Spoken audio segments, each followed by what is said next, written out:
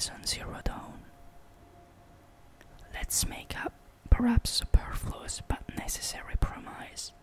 Horizon Zero Dawn is the video game I wanted when I was six years old. I remember going to my father's workplace one summer morning and seeing him typing on the computer. When I asked him what he was doing, he told me that he was creating a program. My father creates accounting programs for companies, if I understood correctly.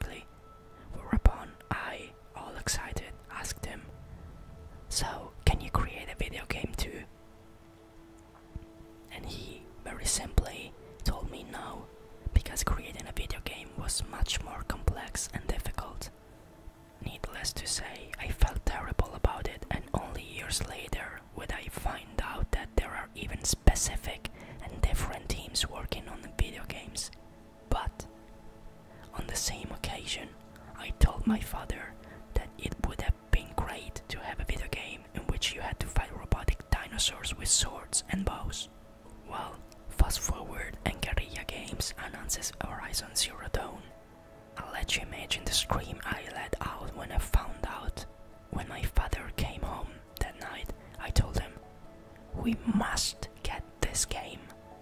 And we did. Yes, my father played it as well and enjoyed it. Incidentally, Horizon was the first game I ever got the Platinum Trophy up and completed it 100%, at least in its basic version. But now, let's get to the story, shall we? Horizon Zero Dawn is set in a matriarchal society protagonist, Aloy, is an outcast and motherless. In short, she won the loser's lottery. At least, however, she has Rost, a man to whom she was entrusted six months earlier than the initial cinematics, and who has taken care of her. And it's Rost who christened the child as Aloy. Also, did you know that the name comes from Old High German, one of the ancestors of today's German, and means brave in battle famous warrior? But whatever, back to us. So, Aloy grows up as an outcast, and no one dares to talk to her. Also, if someone passes her on the street, they change direction. Not good treatment, especially for a six year old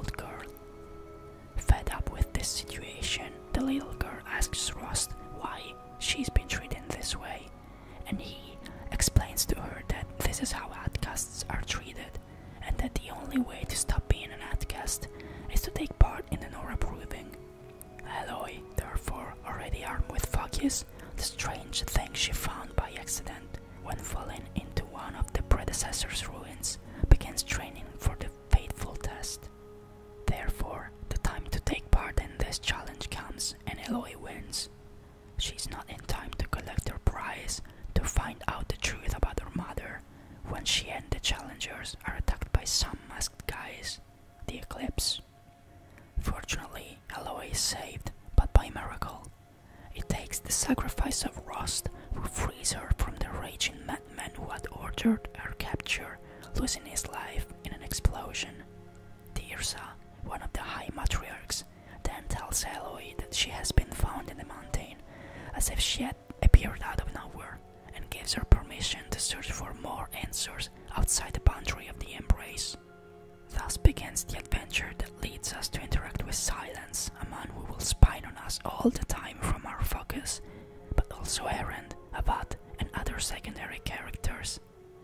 Between missions, then, Aloy discovers that she had been created by Gaia, an AI capable of feeling emotion devised by Elizabeth Sobeck, a scientist with whom she shares genetic heritage. Aloy, in fact, is a clone of Elizabeth Sobeck, created by Gaia in order to restore her after Gaia herself forced her Elizabeth Sobeck, only she can save Meridian, the city of the sun ruled by Avad, from the threat of the Eclipse who seeks her. The Eclipse, in fact, worships Hades, the subfunction of Gaia in charge of exterminating life on Earth,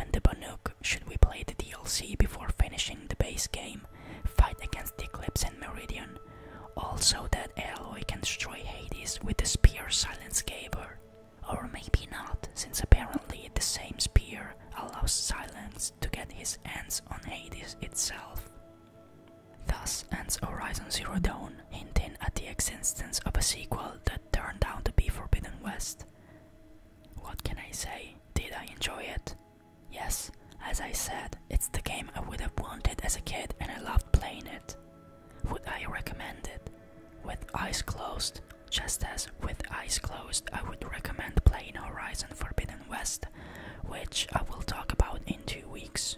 So, if you want to know what I think about the sequel, stay tuned to this channel. I'd say we are done here.